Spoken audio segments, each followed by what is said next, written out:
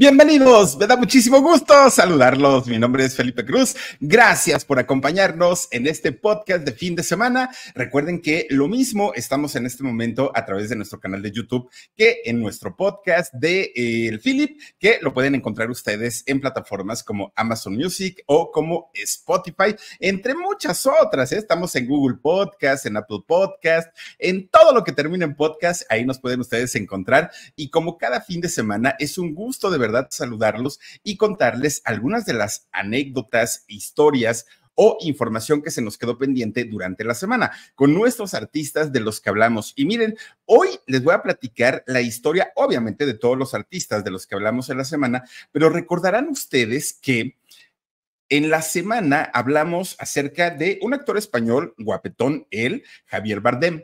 También hablamos de eh, otro actor estadounidense. Oigan, ¿en qué polémicas se ha metido don eh, Morgan Freeman? Nada más este actorazo, indiscutiblemente un gran actor, eso no lo podemos decir, no, no lo podemos negar, pero además también platicamos sobre Arturo Peniche.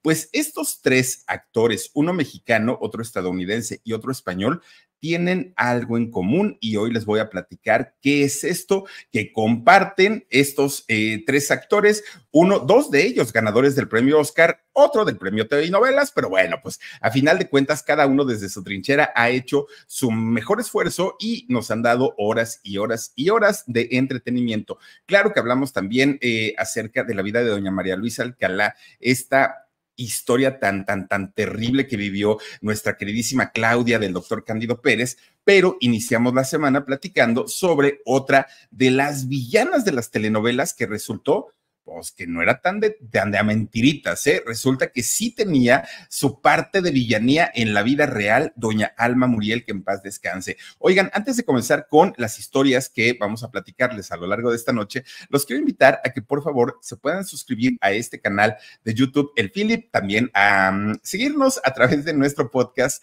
que se llama El Philip también en plataformas, ya lo decíamos, como Amazon Music o Spotify, en nuestro canal de cocina con Sabor a México y claro, también en nuestro canal del alarido. Muchísimas gracias y bienvenidas y bienvenidos sean. Oigan, pues como les decía yo, iniciamos la semana platicando sobre la historia, la vida de esta villana sasa de eh, la televisión y el cine también, doña Alma Muriel. Fíjense nada más, una mujer que en cuestión profesional no hay absolutamente nada que reclamarle, nada que reprocharle a doña Alma Muriel porque eh, definitivamente hizo un trabajo excepcional y les decía yo el día lunes, a diferencia, por ejemplo, de una Laura Zapata, que en todas sus telenovelas es la misma villana que vemos siempre, siempre, siempre, siempre, y se repite, no, doña Alma Muriel era una villana que en cada personaje sí le imprimía un sello, sí le daba una personalidad, sí decíamos, a ah, caramba, no tiene nada que ver una con otra, incluso en su look, en sus expresiones, en su voz, doña Alma Muriel siempre nos sorprendía con una eh, villana totalmente diferente. Sin embargo, fíjense que sobre su vida pesan eh, pues el haber roto por lo menos dos matrimonios, dos. Además, las relaciones sentimentales que tuvo doña Alma Muriel sí fueron relaciones bastante conflictivas. Y fíjense que algo que me comentaban a través justamente de los comentarios que se dejan en los videos, es que me decían, Philip, ¿tú crees que haya sido karma lo que ella vivió cuando eh, Rebecca Jones le baja el novio o la pareja, ¿no? Que tenía, porque de hecho ya vivían juntos, Alma Muriel y Alejandro Camacho. Pues yo no sé, pero lo que sí sé es que lo mismo probó la infidelidad de un lado como del otro, doña Alma Muriel. No solamente fue una mujer que em, se metió en dos relaciones que aparentemente estaban sólidas. Y digo aparentemente porque creo que cuando hay una relación sólida, mm, mm, no hay nada ni nadie que se pueda meter ahí, por más intentos que haga. Pero doña Alma, lo mismo entró y se coló en dos relaciones que también se colaron en una de sus relaciones que para ella era muy importante y que fue la de Alejandro Camacho, que Alejandro Camacho pues se queda con Rebeca Jones, Rebeca Jones se queda con Humberto Zurita, que era eh, novia en aquel momento. Eh, a ver, a ver, a ver, espérenme, déjenme, déjenme ver cómo estaba la historia. Doña Alma Muriel estaba con eh, don Alejandro Camacho y doña Rebeca Jones estaba con Humberto Zurita. Bueno, resulta que Alejandro Camacho y Humberto Zurita eran muy buenos amigos, pero resulta que Rebeca Jones le baja a eh, Alejandro Camacho, a doña Alma Muriel, y posteriormente, pues fíjense, ya ni siquiera se quedó con, con eh, en el caso de Humberto Zurita, porque entra también al quite doña Cristian Baja, en paz descanse. En fin, ya saben qué es eso de que me quitas, te quito, te doy, te pongo, y así, así fue eh, esta situación que vivió doña Alma Muriel en aquel momento. Ahora, fíjense nada más, hay otra historia que esto no está comprobado, esto es eh, pues como un rumor, como radio pasillo, y que se ha contado durante mucho, mucho tiempo. Fíjense que dicen que por ahí de los años 60, doña mm, Alma Muriel tuvo un romance o una relación con don Joaquín Cordero, los dos que en paz descansen, y que incluso de esa relación tuvieron un hijo. Eso sí no sabría yo decírselos. De hecho, fíjense ustedes que en el caso de Alma Muriel, ella tuvo dos hijos conocidos y reconocidos. Uno de ellos es Sergio Romo y su hija es Lisa Cortés. Y en el caso de don Joaquín Cordero, tuvo a eh, Gabriel, Antonio y David. Fíjense nada más que, por cierto, don Joaquín Cordero estaba casado con la media hermana de Maxine Gutzai, ¿no? Eh, era, digamos, su media cuñada, doña Maxine, que ahí anda muy enojada con nosotros ahora porque Oigan, pues sí, para que agarra las notas y no da crédito, pero bueno, oigan, resulta que eh, también nos preguntaban un poquito acerca de la vida de Sergio, eh, el hijo de Alma Muriel. De entrada les puedo decir que su esposo, eh, esposo de doña Alma Muriel, don Sergio Romo, fue un empresario, un, un hombre eh, pues que tenía sus negocios. Y fíjense nada más que este señor cuando su hijo, su hijo eh, de, él, junto con Alma, pues comienza ya a estudiar y de hecho se va a Monterrey para, para estudiar, ellos se dedicaban a la publicidad y se eh, dedicaban a la mercadotecnia. Ese es, bueno, el, el hijo de Alma todavía se debe dedicar a eso. Ese es el negocio que han hecho durante mucho tiempo. Ahora también nos preguntaban, oye, Filip, ¿y cómo estuvo ese asunto con Lolita Cortés, su hermanastra? Pues sí, fíjense nada más, resulta que cuando eh, finalmente tanto el padre de Lolita Cortés, este actor llamado Ricardo Cortés de origen chileno, comienza a, tener una relación con doña Alma Muriel, que Alma Muriel se mete en el matrimonio de Ricardo Cortés, padre de Lolita Cortés, y em, de Dolores, Dolores eh, Jiménez, esta mujer, eh, aparte de todo, sobrina nieta de eh, nada más ni nada menos que don José Alfredo Jiménez. Bueno, pues resulta que cuando ya formalizan su relación Ricardo Cortés junto con doña Alma Muriel, ahí Alma Muriel, que ya tenía un hijo, y Ricardo Cortés, que ya tenía a dos hijas, pues comienza la convivencia. Lolita Cortés junto con su hermana Laura, Laura Cortés, y eh, junto con el hijo de Alma Muriel, resulta que comienzan pues siendo y criados como hermanos prácticamente. Lolita para aquel momento tenía cinco años y con cinco años Lolita, pues digamos que se mm, le gustaba este, este muchacho, este niño, pero pues con una, sin malicia, pues, ¿no? Eh, eran a final de cuentas niños, un amor de niños, que no tiene nada que ver ni con lo sexual, ni con la parte eh, de atracción, no, una cosa de decir qué bonito es, me, me llama la atención, pero hasta ahí y con el tiempo esa relación se fue afianzando pero no llega nada porque el hijo de Alma Muriel se va a estudiar justamente mercadotecnia y publicidad, marketing y todo esto a Monterrey. Ahí se separan, ahí ya Lolita junto con su hermanastro ya no tuvieron absolutamente nada, nada, nada que ver, ¿no? Sergio y Sergio Junior y Lolita se separaron. Pero Lolita comienza, gracias a Alma Muriel, comienza su carrera como actriz. Y es ahí cuando eh, Lolita entra a la obra de teatro que Plantón, uy, ¿se acuerdan ustedes de esta obra de teatro? Pues resulta que cuando ya Lolita está ahora sí metida en, en, esta obra de teatro, se van de gira a Monterrey. Y es en Monterrey donde se reencuentra con Sergio, con su hermanastro. Y allá es donde, ah, ya no lo vio como niño, allá ya no lo vio como un chamaquito, ya de hecho los dos eh, estaban bastante creciditos y comienzan a tener un romance, un romance que tuvieron que ocultar durante mucho tiempo por dos cosas, ¿eh? Primero, bueno, por tres. Primero, porque Lolita ya tenía un novio desde hacía cerca de tres años. Imagínense nada más un novio de, cerca de tres años que tenía Lola y que tuvo que cortar cuando se reencuentra con su hermanastro. Pero, y por eso no podían decir nada. Pero además estaba de por medio también doña Alma Muriel, que pues no iba a estar muy de acuerdo en que su hijo estuviera de romance con su hermanastra. Pero además estaba Dolores Jiménez, que era la mamá de Lolita Cortés, que tampoco iba a estar muy, muy, muy de acuerdo con, con esa situación. Entonces decidieron mantenerlo pues en secreto y en privado durante mucho tiempo. Incluso fíjense que ya, ya eh, después de que termina su carrera, Sergio se viene a vivir a la Ciudad de México. Aquí, pues prácticamente llevan este noviazgo en secreto, ¿no? Sergio y Lolita. Sergio Jr. y Lolita Cortés.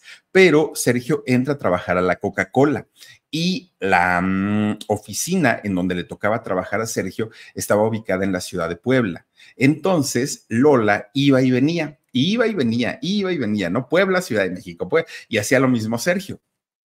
De hecho, es en este inter, porque ellos nunca se casaron, legalmente nunca se casaron, es en este inter cuando se convierten en papás de sus dos hijos, Lolita Cortés y Sergio, Junior, el hijo de Alma Muriel. Obviamente, pues fue una noticia que no a muchos les gustó, porque para mucha gente Sergio y Lolita eran hermanos, no hermanastros. Entonces, pues se habían criado como tales y esa parte, pues sí lo, sí lo batallaron muchísimo en, en, aquella, en aquella ocasión. Bueno, pues resulta que también nos preguntaron en los comentarios, oye, Philip, ¿y qué fue de eh, Ricardo, Ricardo Cortés, el padre de Lolita Cortés? ¿Vive, no vive? ¿Qué hace? ¿A qué se dedica? Fíjense que este chileno, después de que termina con Dolores, su esposa, Dolores Jiménez, y termina la relación también con Alma Muriel, él rehace su vida, ¿no? Y fíjense que durante mucho tiempo se alejó y nadie sabía si no estaba vivo, si estaba vivo o qué hacía. Resulta que este actor y cantante chileno, eh, durante el tiempo en el que estuvo, mm, digamos, ausente del ojo público, eh, estaba dedicado prácticamente pues a asistir a eh, producciones que tenían que ver con documentales. Entonces, en una ocasión fue a, hacer un documental con una compañía que estaban haciendo sus cosas, miren, es él justamente, eh, estaban haciendo unas cosas de buceo.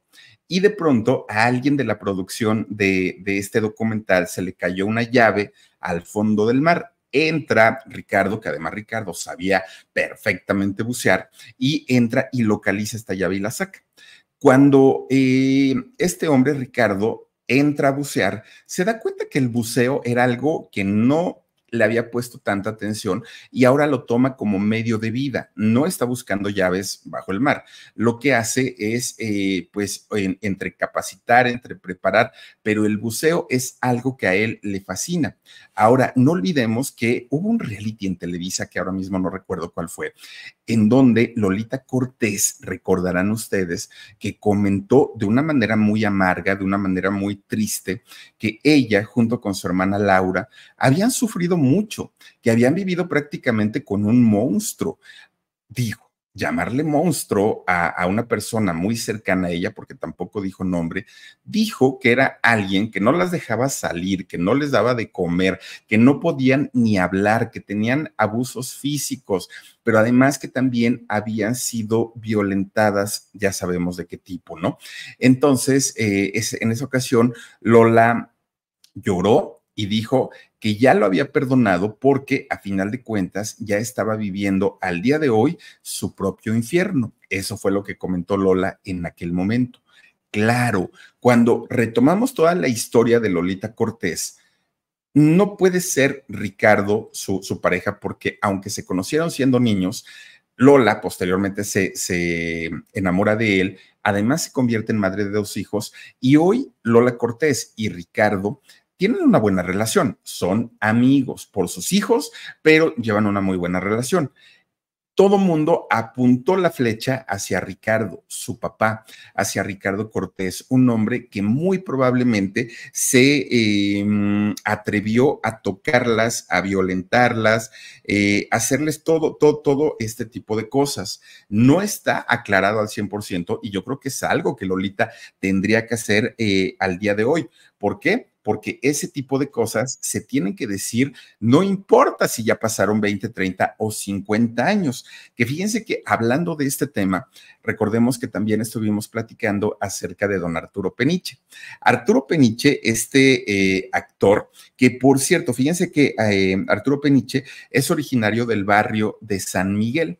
El barrio de San Miguel está ubicado en la delegación o alcaldía Iztapalapa de Iztapalapa para el mundo. Oigan, eh, este lugar que es un lugar muy conocido a nivel internacional porque ahí año con año se realiza la pasión de Cristo, la representación de la pasión de Cristo, ¿no? Que recordemos también que hace cuánto, creo que fue en, en, medio de la pandemia, cuando eh, no hubo público, solamente fueron los actores que iban a representar a la pasión de Cristo y se acuerdan que se hizo viralísimo aquel video de la crista de Iztapalapa, ¿se acuerdan?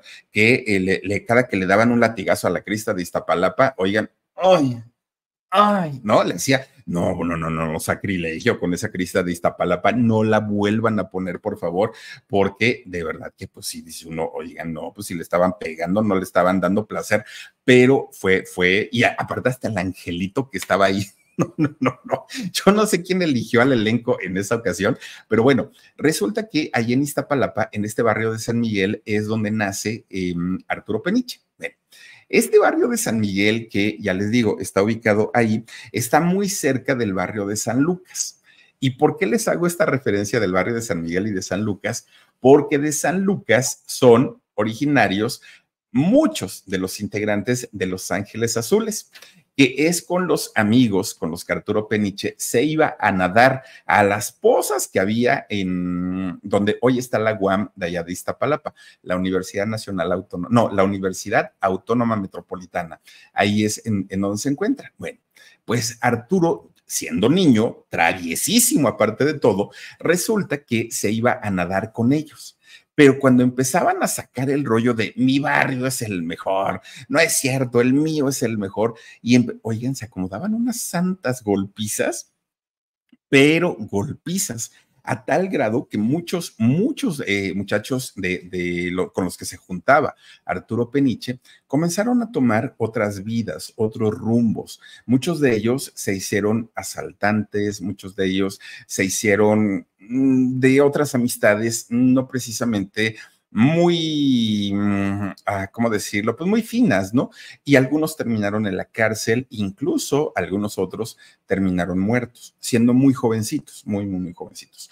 Pues resulta que Arturo Peniche, lejos de estar en esta situación y seguir el rumbo que habían seguido sus amistades, él no, él, gracias a su papá, al, padre de, de Arturo, don Arturo Padre, resulta que él eh, el señor se dedicaba a ser stone o doble eh, de actores de cine, pero además también cuando él se cae y se lastima una pierna, se dedicó solamente a hacer doblaje, que hacer doblaje en México en aquellos años era de verdad para gente muy talentosa, tan es así que el doblaje mexicano era el que sonaba y se escuchaba en toda Latinoamérica. En México se hacía el, el doblaje latinoamericano. Bueno, gracias a su padre de Arturo Peniche, que era un, hombre actor, cantante y eh, actor de doblaje, es que Arturo logró entrar al mundo de la televisión, al mundo del cine y al mundo del teatro. Incluso Arturo eh, Peniche tiene su récord haber realizado en Televisa una de las telenovelas más exitosas, indiscutiblemente, que fue María Mercedes. Ahí salió de galán de Talía, fíjense nada más. Muy guapos los dos, muy jóvenes los dos, aparte de todo, y Talía, qué cuerpazo. Que por cierto, ahí sale la malvavina, ¿no? La, la mm, este, hermana Laura Zapata haciendo su personaje de toda la vida. Y cada que le invitan a hacer una telenovela, seguramente la señora va a hacer lo mismo. Pero bueno, resulta que, fíjense que antes de llegar a esta telenovela, Arturo Peniche, Arturo Peniche ya había trabajado como extra y como doble allá en Hollywood y le tocó trabajar nada más ni nada menos que eh, junto a actores como eh, Arnold Schwarzenegger y también junto a Sylvester Stallone. Fíjense que con, eh, Arnold, Arnold Schwarzenegger, hizo Conan el Bárbaro, que, que esa película se hizo por ahí del año 82, si no estoy mal, y con Sylvester Stallone hizo por ahí la de Rambo 2, que esa se hizo en el 85. Entonces, Arturo Peniche, de haberse quedado a trabajar allá en Hollywood, muy probablemente pudo eh, haber sido de los primeros actores mexicanos en irse a trabajar allá y entender talento pero pues todavía las puertas no estaban abiertas para el mundo latino en aquellos años y prefirió regresar, se prefirió regresar en México y de esta manera pues hacer una carrera en la televisión. Ahora, les decía yo al principio que cuando, eh, bueno, iniciamos eh, este podcast, que tenían algo en común Arturo Peniche, Javier Bardem y eh, Morgan Freeman. Bueno, y este asunto que tienen en común es sobre el tema del acoso y abuso hacia las mujeres. Y no, no, no, no, Arturo Peniche, mm, hasta el día de hoy que se sepa, no hay una historia, y miren que hoy es, no sé, de 16, 17, no, ¿qué, día es, Dani? Ahí pónmelo, porfa. Este, fíjense que al día de hoy no hay una historia en donde nosotros sepamos que Arturo Peniche haya cometido algún acto delictivo en contra de una mujer. No, no se trata de eso. Pero fíjense que es sábado 18 de noviembre, muchísimas gracias Dani, del año 2023, porque no sé si mañana pueda salir una historia, pero hoy, en esta fecha, no hay algo que se conozca acerca de Arturo Peniche. Bueno, pero lo que sí sucedió es que Arturo no sé si en, un afán de no meterse en problemas, si en un afán de quedar bien con alguien, si en un afán de eh, que no le quiten trabajo, pero fíjense que Arturo Peniche ha declarado que él no entiende por qué caramba, cuando ya pasó mucho tiempo de alguna agresión que ha sufrido una mujer, abre la boca. Es que si ya pasaron 10 años, ¿para qué hablan? Ya mejor que se queden calladas, decía eh, don Arturo Peniche es que al ratito van a salir con que yo también. Entonces, si hay una mujer que diga que yo hice algo, que salga ahora y hable o calle para siempre, porque no, esas cosas son de momentos. Y si no se denuncian al momento, ya mejor ni siquiera hablen. Imagínense nada más lo que pensaría Sasha Sokol, si lo escuchó o no lo escuchó, no lo sé. Pero, don Arturo Peniche, de verdad, usted que trabaja para un público mayormente femenino, que muchas mujeres lo quieren, lo admiran, lo aman, lo respetan, creo yo que las palabras son muy desafortunadas, porque sin importar si ya pasó un día, o pasaron 50 años y una mujer hasta después de 50 años sintió la fortaleza para poder abrirse y para poder decir lo que le sucedió, está en todo su derecho. Y creo que hoy por hoy las leyes deberían poner delitos que no prescriban. Y entre ellos está justamente esto.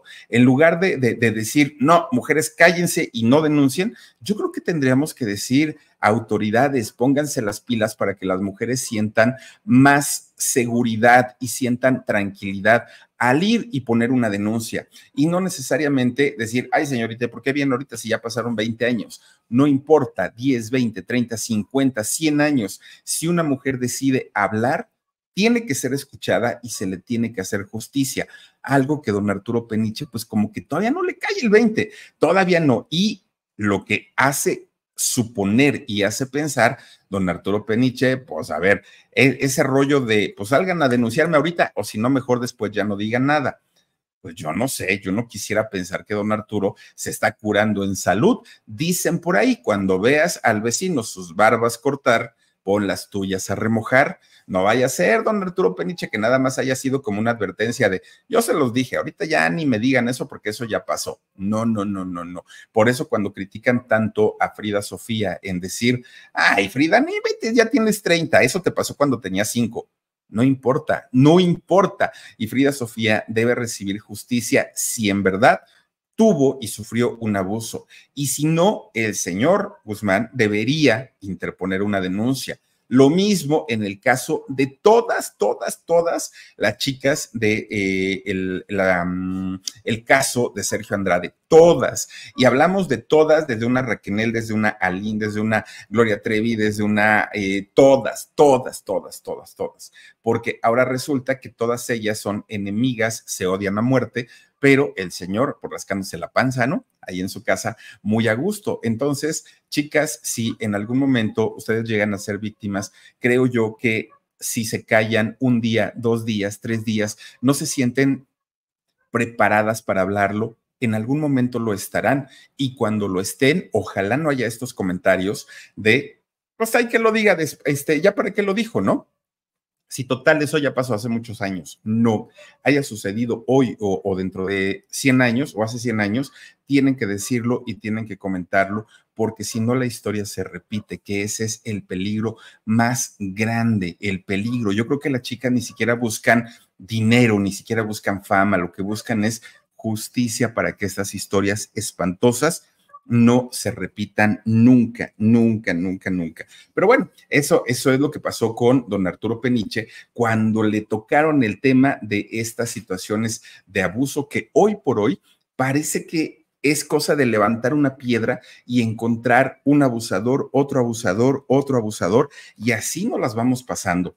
El, caso, por ejemplo, del que hablábamos del de, el señor Morgan Freeman, no es precisamente lo mismo que con Arturo Peniche, porque con eh, Morgan Freeman sí hubo denuncias, sí hubo denuncias legales y esa situación en donde aparentemente tuvo una relación con su propia nieta adoptiva o no adoptiva, porque esa parte está confusa, si en realidad es hija de su hija biológica o es hija adoptiva de su hija biológica o si su hija, que pensamos que es biológica, en realidad es adoptiva. Esa, esa parte no está muy clara y hasta el día de hoy, y yo creo que van a esforzarse mucho para que no se sepa eh, cuál fue el parentesco real. Pero toda esta historia que acusa a un Morgan Freeman de haber tenido una relación con su propia nieta, creo yo que lo va a ensombrecer prácticamente toda su vida, toda su vida. Y es que, eh, aunque hoy las denuncias están desestimadas, aunque la gente a la hora de la hora dijo, mm, mejor me retiro, no se sabe si hubo un acuerdo, eh, ahora sí que extraoficial, o si lo retiraron, retiraron los cargos porque no era cierto. Esa parte tampoco se sabe. Lo que sí se sabe es que Morgan quedó marcado a través de, de esta situación.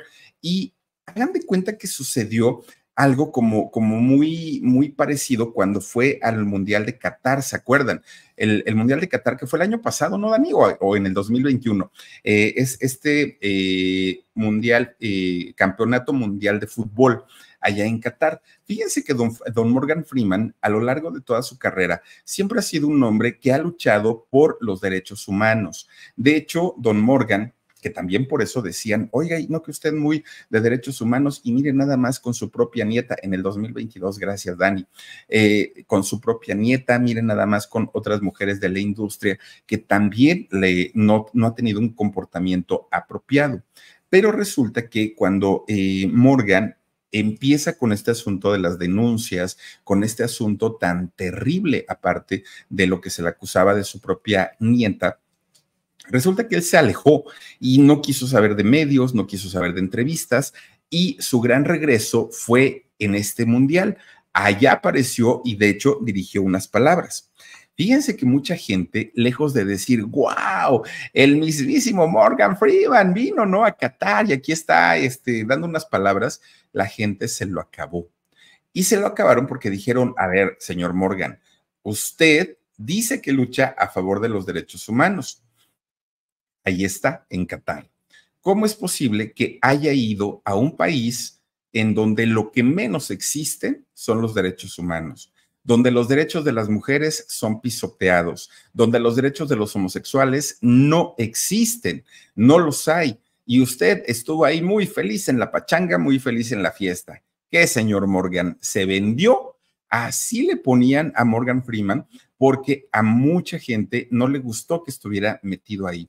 De vendido no lo bajaron, de decir, este señor nada más habla y habla y habla y habla, pero por un lado tiene un romance con su eh, nieta adoptiva, pero por otro lado hay mujeres que lo acusan de eh, comportamiento inapropiado, pero además viene a visitar un país en donde desafortunadamente la vida de sus habitantes se vive sin respetar sus derechos humanos, algo que obviamente pues no le benefició en nada, en nada, en nada a eh, Morgan Freeman, que además de todo también lucha por una igualdad. Él dice que no se considera afroamericano, que él se considera un americano y que él no ve el color de piel en la gente, que lo que ve es justamente la gente.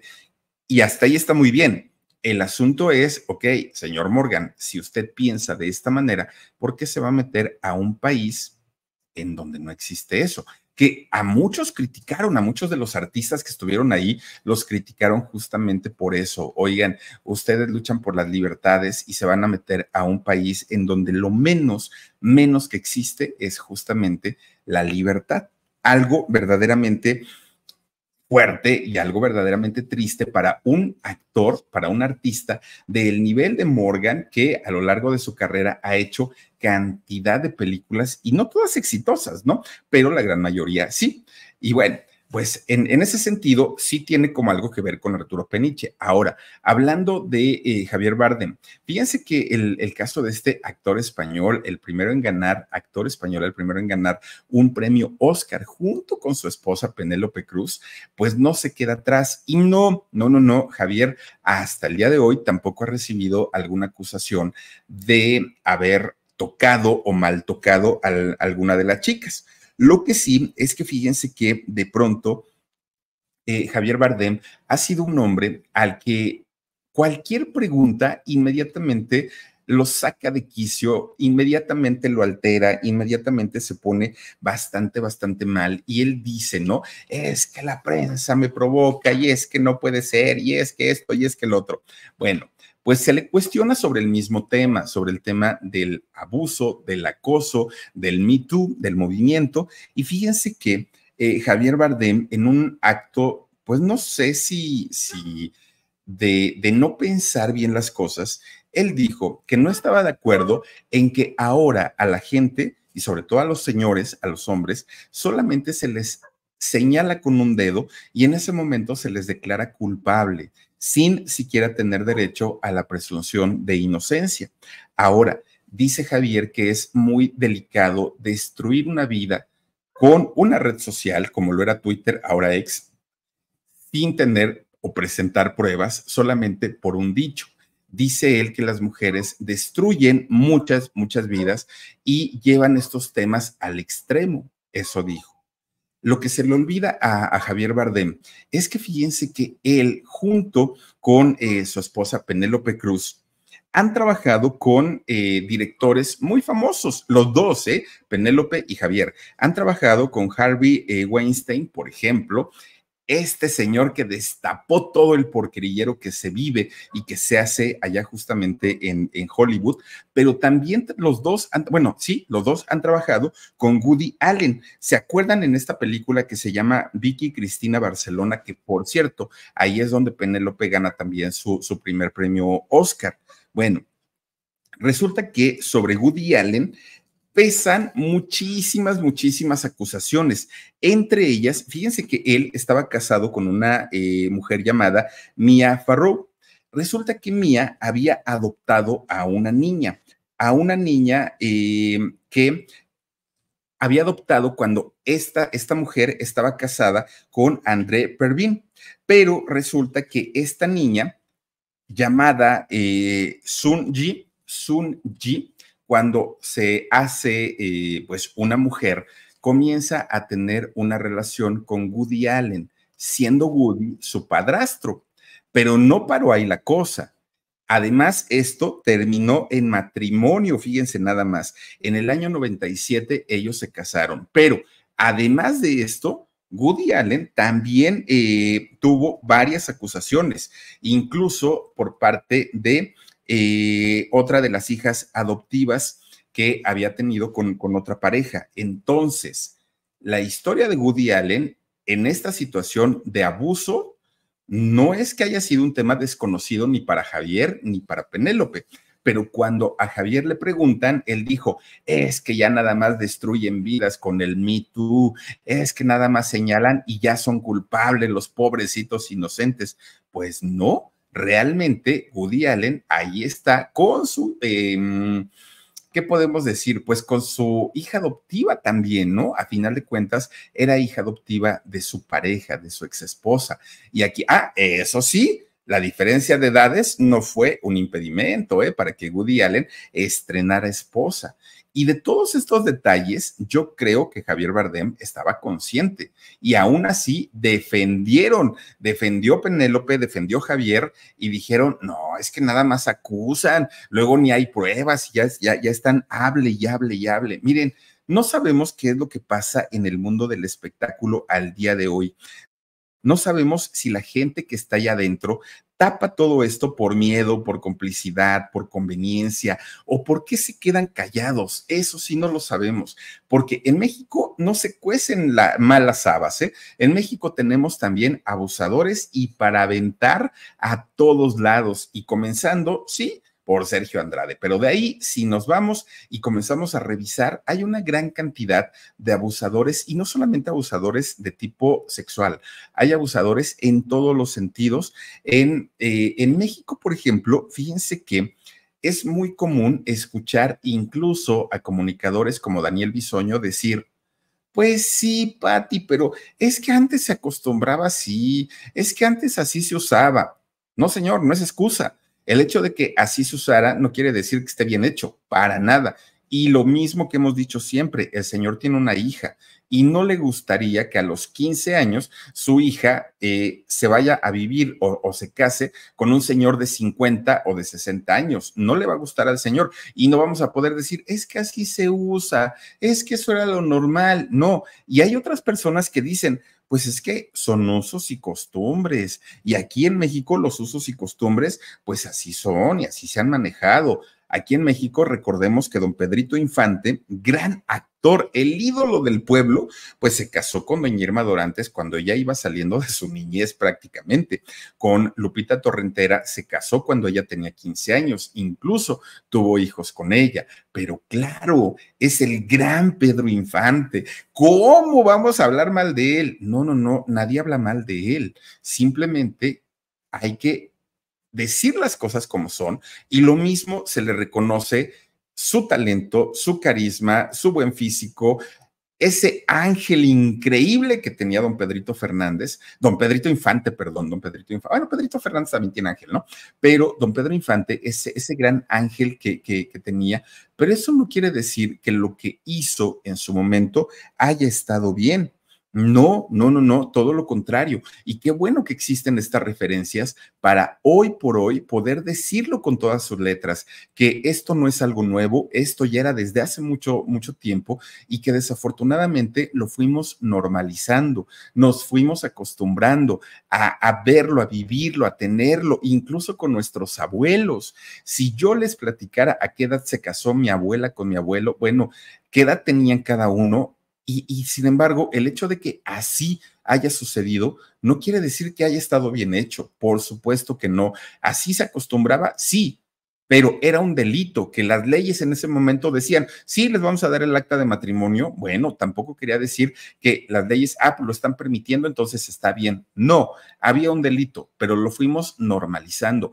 Y qué bueno que hoy por hoy las cosas están cambiando. Y qué bueno que hoy por hoy a los niños, a los niños y a las jovencitas, afortunadamente y a punta de críticas, de habladas, de, de, de, de bueno, de hate que llega a caer, ya está habiendo un respeto poco a poco. Y poco a poco nos empieza a caer el 20 que hay cosas que no están bien.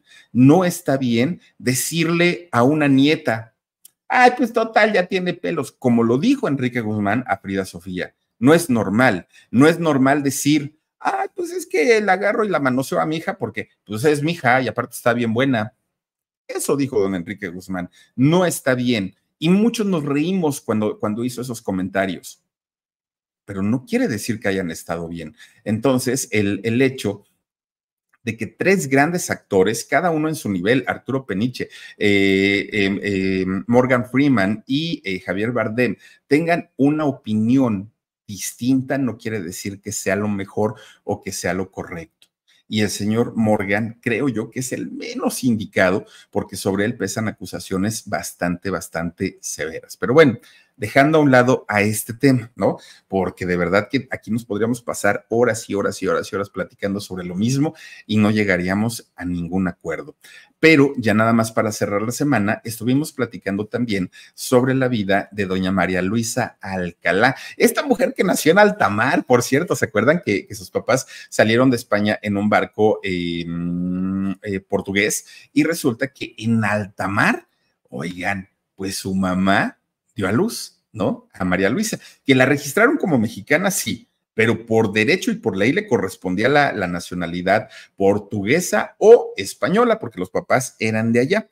Fíjense nada más, ah, un dato, un dato muy curioso y muy raro es que ese día, domingo 21 de febrero del 2016, María Luisa fue encontrada en su cama eh, fallecida, ¿no?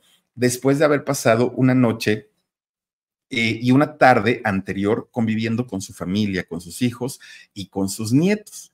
Pero ese día también falleció don Rafael Rojas el Caballo, solamente que don Rafael, su muerte fue muy distinta, porque don Rafael murió en un hospital aquejado por ese cáncer de vejiga que lo estaba atormentando desde hacía mucho tiempo, pero los dos murieron el mismo día. Ahora fíjense que también hablábamos sobre la depresión de doña María Luisa Alcalá. Y la depresión, claro que tuvo que ver con todo el patrimonio que ella perdió, todo el dinero que ella perdió cuando su papá, don Francisco, le administraba su dinero. Y don Francisco puso todos los bienes a nombre de él, a nombre de don Francisco, ¿no? De don Francisco Alcalá. Y resulta que cuando el señor muere, deja herencia o deja un testamento con herencia a sus tres hijas, no solamente a María Luisa, aunque él sabía que toda la fortuna era de María Luisa. Que por cierto, María Luisa tenía tres restaurantes de la Puerta de Alcalá, no era uno solo, eran tres y en los tres se presentaban espectáculos de comedia, estando peros. Eh, ella les daba trabajo a todos ellos en sus tres restaurantes. Bueno, cuando su papá, don Francisco Alcalá, muere, eh, el testamento estaba a nombre de las tres hijas. María Luisa dijo, yo no tengo problema en compartirles mi dinero a mis hermanas. Aparte, pues, pues, digo, son mis hermanas y adelante.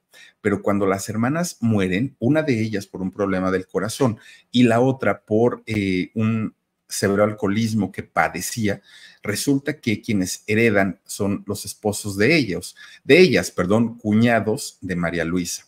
Y ellos son quienes no quieren regresar nada de lo que le correspondía a María Luisa que ellos sabían y estaban conscientes que todo ese dinero era de María Luisa y sin embargo no quisieron entregárselo.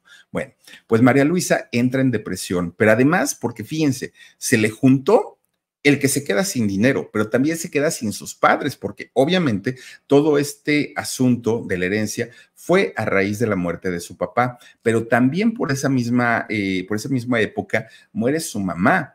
Y además también mueren sus hermanas al poco tiempo. Entonces, de toda esa familia, la única, la única que vivía era María Luisa. Y esto no la hacía absolutamente nada, nada, nada feliz, porque ella sabía que en cualquier momento podía ser la siguiente. Y ya en su estado, después de haber tenido ese infarto que casi, casi le quita la vida, María Luisa estaba muy preocupada, pero además se le habían ido las ganas de vivir. ¿No? Por, por toda esta eh, situación por la que ella había vivido.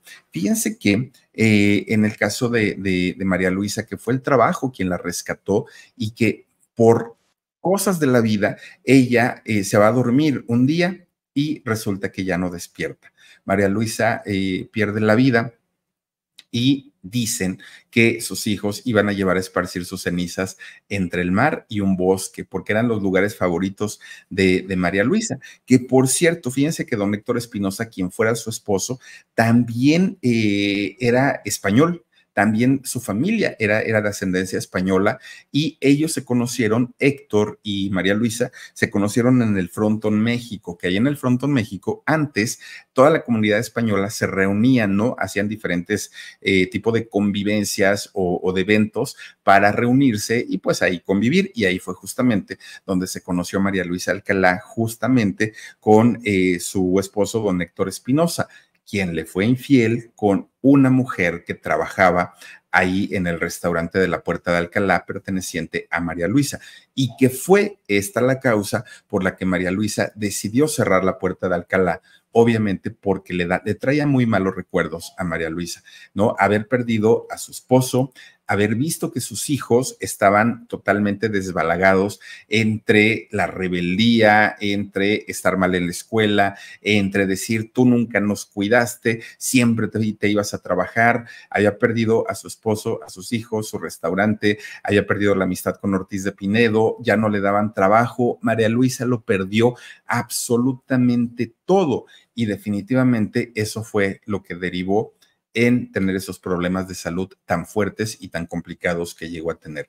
Claro que sus hijos se hicieron cargo de ella después, claro que su hija fue quien le, pues ahora sí que le tendió la mano, ¿no? Para que María Luisa pues eh, regresara a mm, sentir esa pasión nuevamente por la vida y así lo hizo aparentemente sin ninguna enfermedad, aparentemente estando muy bien, es como María Luisa se va a dormir y ya no despierta. Pero bueno, descansen en paz todos estos personajes importantes de la farándula de quienes hemos hablado hoy y eh, pues en el caso de quienes aún están ahí, ojalá ya no hagan tanta cosa porque no está bonito, de verdad no está bonito enterarnos y saber que por un lado muestran una cara en la pantalla de, ay, qué buena onda, los amigables, los súper talentosos y por atrás hacen de las suyas. En fin, este ha sido el podcast de fin de semana. Muchísimas gracias por habernos acompañado, por haberse conectado y eh, gracias Dani por eh, haberme apoyado también. Recuerden que el día